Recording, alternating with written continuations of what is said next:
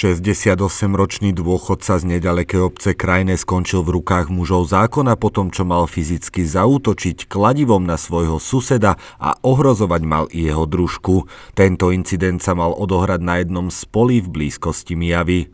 Mijavskí policajti vzniesli obvinenie 68-ročnému mužovi pre prečin nebezpečné vyhrážanie v súbehu s prečinom ublíženie na zdraví. Suseda udrel kladivom do nohy.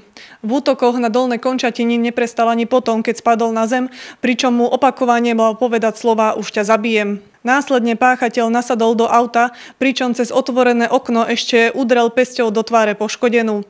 Poškodeným boli útokom páchateľa spôsobené pomliaždeniny a zlomeniny. Poškodení následne zavolali na 68-ročného agresora políciu, ten však z miesta incidentu ušiel a zabarikádoval sa vo svojom dome.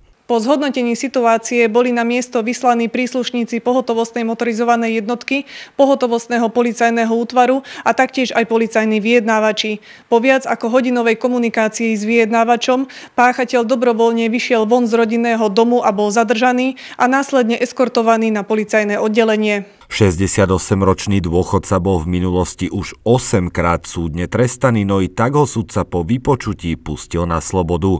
V prípade dokázania viny mu však hrozí pobyt za mrežami v dĺžke troch rokov. David Cvitač, Televízia Pohoda.